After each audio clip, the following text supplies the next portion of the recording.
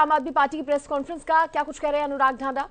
आम आदमी पार्टी के सरकार से एक श्वेत पत्र ला के ये बताना चाहिए कि कितनी अवैध माइनिंग हरियाणा के अंदर हो रही है यमुना के किनारे पर और उस अवैध माइनिंग में किसकी हिस्सेदारी है वो खुलेआम कैसे हो सकती है? राणा साहब आम आदमी पार्टी के पंजाब के मुख्यमंत्री हरियाणा बार बार दौरे कर आम आदमी पार्टी आम आदमी पार्टी एक पंजाब के मुख्यमंत्री बयान आता है दो दिन पहले कि हरियाणा को पानी चाहिए अब तो नहीं रहेगा इस आप क्या कह सकते हैं आपको वजह से देखिए, मुझे लगता है कि ये किसी संदर्भ में किसी युवा के साथ वो चर्चा कर रहे थे और हिमाचल के सेस को लेके कोई सवाल था, उसके ऊपर चर्चा कर रहे थे। संदर्भ से हटा के इस बयान को देखना सही नहीं है। और ये बाढ़ की स्थिति में संजीव से तरीके की बयानबाजी नहीं होनी चाहिए। और मुझे बहुत स्पष्ट तौर पे लगता है कि वो जिस संदर्भ में बात कर रहे थे वो एक उदाहरण दे रहे थे कि सेस लेता है हिमाचल। हरियाणा से भी और पंजाब से भी लेना चाहता था।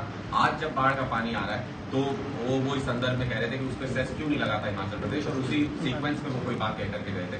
तो मुझे लगता है कि पूरे तथ्य जान करके पूरा संदर्भ जान करके इस पर कमेंट करना मीडिया साथ साथ ही जाना जी उस दौरान जब बयान आया ये कि पानी नहीं नीचे सबसे स्पष्ट सी बात है ना। मैं यही कह रहा हूँ, वो किसी संदर्भ में अपनी बात कर रहे थे और किसी सीक्वेंस में। जब मैं आपसे बात करता हूँ तो मैं बहुत सारी बातें बोल रहा हूँ, उसका एक हिस्सा उठा करके अगर इस्तेमाल किया जाए। मुझे वो पूरा संदर्भ नहीं पता और किस व्यक्ति से वो बात कर रहे थे, मुझे उसका नहीं पता जब वो तथ्यों की जानकारी हो, तभी इस पर सही से कमेंट किया जाए